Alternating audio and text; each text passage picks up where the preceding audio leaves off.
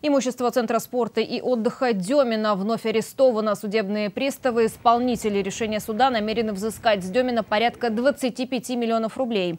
На такую сумму Центр накопил долги в пенсионный фонд, налоговую, по заработной плате, госпошлине, судебным издержкам.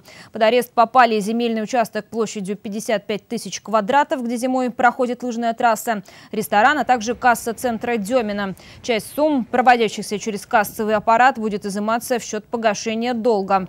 Перечисленное же имущество реализует, если Демина не расплатится вовремя. Правда, пользоваться арестованным имуществом не запрещено, нельзя только продавать его его или сносить. Напомню, нынешний арест второй. Ранее был наложен арест на несколько снегоходов на общую сумму 10 миллионов рублей. Их у центра изъяли. Сейчас они находятся на хранении у судебных приставов.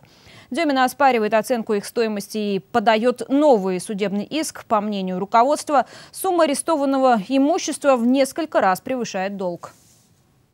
Для защиты своих интересов а, мы подали заявление суд о признании незаконными действия решения судебного пристава исполнителя ввиду нарушения принципа соотносимости объема требований взыскателя и мер принудительного исполнения.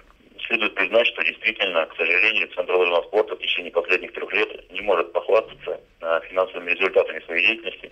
Компания испытывает финансовые трудности.